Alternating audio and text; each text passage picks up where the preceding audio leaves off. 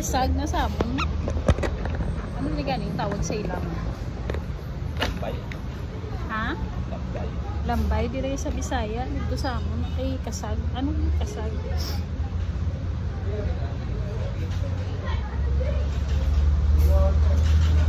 Ikapoy ko guys. Kapoy ba may sigat pa nga dito sa ano, fire station.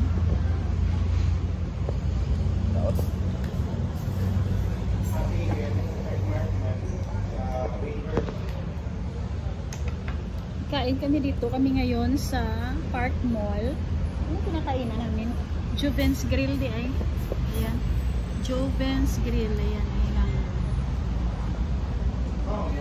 May ituyukan sila pero alkansi ko kung kansi ko kung masulod kami sa ituyukan kaya wala akong gana magkain.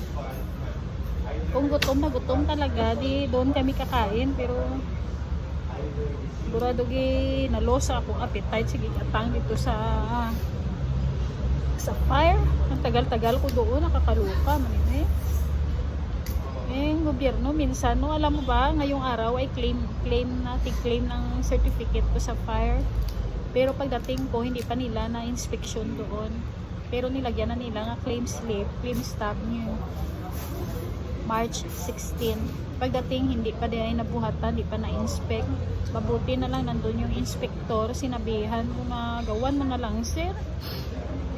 Hihintayin ko. So ginawa niya ng report. Tapos hinintay ko pa. O diba ganun lang yung gobyerno. Minsan oh, nakakaluka. Pero pag ikaw malate ka penalty agad. Oh. Pag hindi mo nakuha penalty agad. Kung hindi mo nabayaran penalty agad. Pag hindi ka nakakomply penalty agad. Pero kung ikaw ang maghintay walang penalty. Saan ang hostisya dyan? Kaya si Eds Kisanel gikapoy o hulat. Ay nakutalukan kaya kumain kami dito pero parang wala naman ako gana eh. pero si partner oh ang sarap-sarap kumain eh. Ng kasag ayun po Kain na, allergy later. Oo, kain na, allergy later, sabi niya. Si Teresel lang ang katapat niyan, ah. Mhm.